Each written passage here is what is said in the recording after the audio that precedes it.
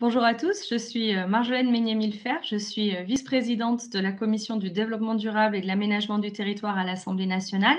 et je suis également présidente de l'Alliance HQE-GBC. Euh, je me suis engagée dans la campagne Building Life comme ambassadrice parce que je pense que c'est important que nous partagions nos bonnes pratiques de pays à pays et que nous nous, partagions les outils qui nous permettront de nous engager vraiment dans la transition environnementale filière par filière. En France, dans le cadre de la stratégie nationale bas carbone euh, et dans sa déclinaison pour le secteur bâtiment, nous nous sommes engagés dans la réglementation environnementale 2020, la RE 2020, qui est une véritable transformation euh, profonde de nos, de nos pratiques euh, de bâtir ou d'aménager